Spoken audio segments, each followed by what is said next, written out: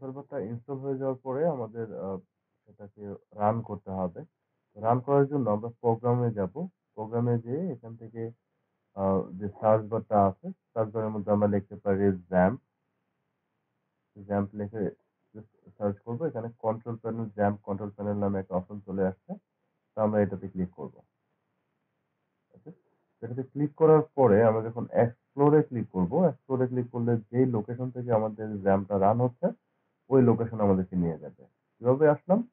Just explore বাটনে click করলাম। Okay? এইখানে আমরা অনেকগুলা ফাইল দেখব। অনেকগুলা ফাইল আছে এখানে বা অনেকগুলা ফোল্ডার আছে। তো এত ফাইল বা ফোল্ডার দেখার আপাতত আমাদের কোনো প্রয়োজন নাই। আমরা যেটা করব যে এখানে htdocs নামে একটা ফাইল আছে। ওকে?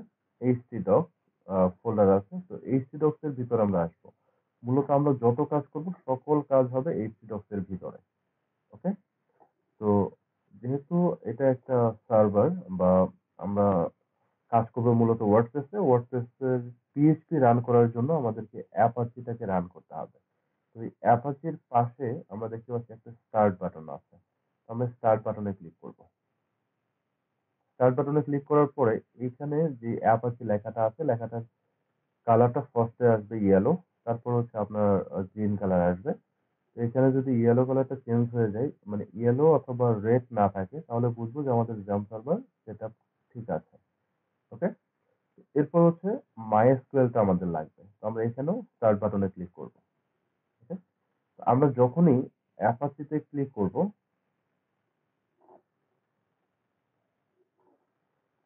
আমরা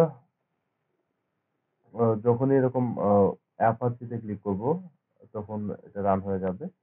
যদি এরকম এটা রান করার সময় SQL রান করার সময় যদি এরকম কোনো একটা এরর আসে, তাহলে জাস্ট আমরা অ্যালাও অ্যাক্সেস ক্লিক করব।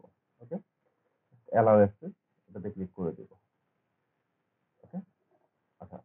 অ্যাপাচিটা রান হয়ে যাওয়ার পরে আমরা যদি ব্রাউজারে যাই, আমাদের Firefox অথবা Chrome আপনি যে ব্রাউজারটা ইউজ করেন, ওই ব্রাউজারে যান। তাহলে হচ্ছে লোকাল হোস্ট নামে একটা লিংক অ্যাক্টিভেট হয়ে যাবে।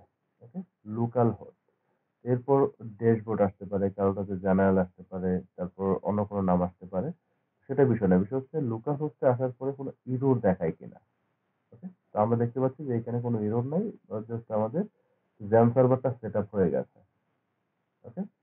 তো এইখানে তো আমরা কি বুঝলাম যে আমাদের জাম্প সার্ভারটা রান হয়ে যাওয়ার পরে এটার যে কন্ট্রোল প্যানেলটা ওইটা আমরা প্রোগ্রাম ফাইল থেকে নিয়ে আসব। নিয়ে এসে এটাতে অ্যাপাচি এবং MySQL টাকে রান করে দেব। ওকে? আর যেই ফোল্ডারে থেকে এই সার্ভারটা রান করতেছে, সেটা দেখার জন্য আমরা এক্সপ্লোর বাটনে ক্লিক করব। এক্সপ্লোর বাটনে ক্লিক করলে সরাসরি ওই লোকেশনে চলে যাবে। আর এখান থেকে আমরা যেটা জানলাম যে htdocs ফোল্ডারের ভিতরে আমরা শুধু কাজ করব। অন্য কোনো ফোল্ডারে আপাতত কোনো কাজ করব না।